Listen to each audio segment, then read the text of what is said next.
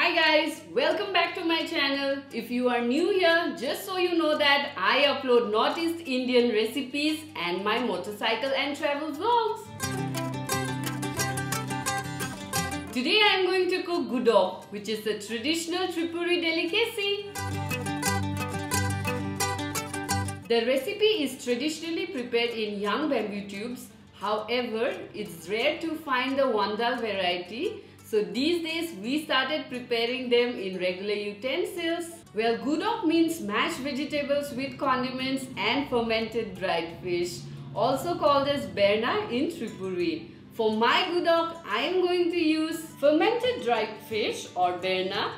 Ensure that you rinse it thoroughly before using. Snake beans, chopped into 2 inches length. Potatoes, peeled and chopped into half slit green chilies, sliced onions, finely chopped coriander leaves, turmeric powder and salt.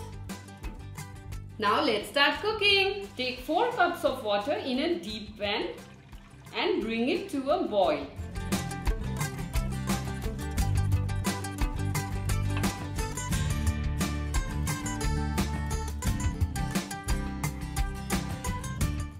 The water starts boiling, add the rinsed fermented fish, pinch of turmeric powder, salt, slit green chilies and sliced onions. Stir it and let it boil for 5 minutes.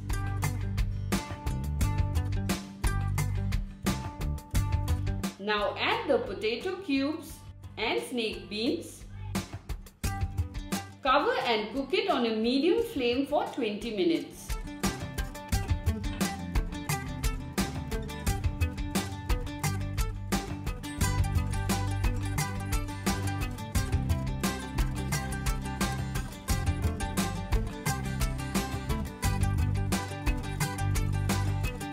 Once the vegetables are cooked, turn off the heat and let it cool. Now take a large bowl, sieve out the soup and keep aside.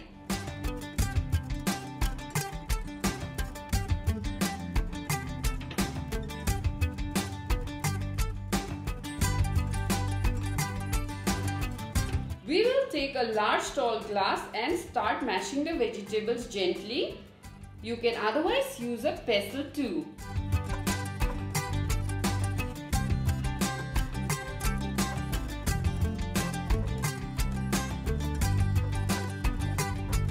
Now put the pan back into the stove on a medium flame add the soup and start stirring it until it forms a semi-solid gravy.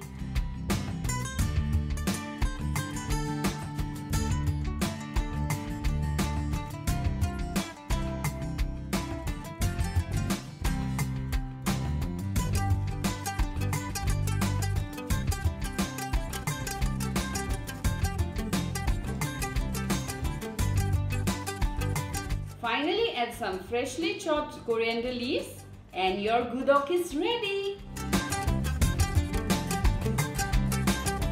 Here is our gudok. The dish is a perfect blend of mashed vegetables and a flavorsome fermented dry fish. I'm sure you will not be able to control yourself from overeating whenever you prepare gudok if you have watched this video so far, don't forget to give it a big thumbs up and see you guys next week.